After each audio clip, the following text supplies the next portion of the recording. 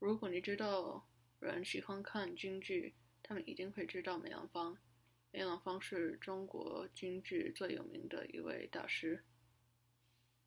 梅兰芳八岁的时候就开始唱戏，他十岁的时候就登台。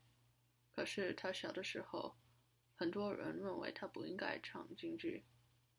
其中的很重要的原因就是他的近视眼，他的眼皮下垂，他的眼睛不够明亮，还有迎风流泪的毛病。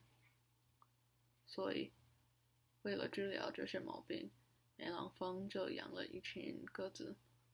他每天放鸽子，放的时候就用眼睛看着鸽子飞在天上。年复一年，日复一日，他的眼睛就渐渐治好了。同时，梅兰芳在刻苦的练习唱戏，所以这样，梅兰芳就成了中国最有名的京剧演员。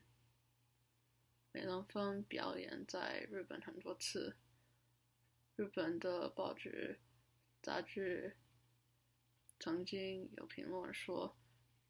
他的手比女人的手更看起来是女人的手。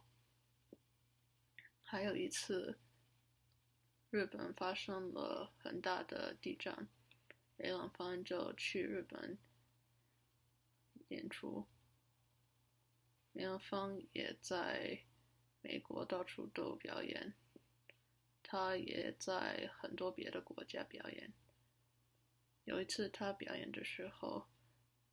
一位老太太看了，她回家的时候就命名它的花园梅兰芳，命名了一朵叫不出的花梅兰芳。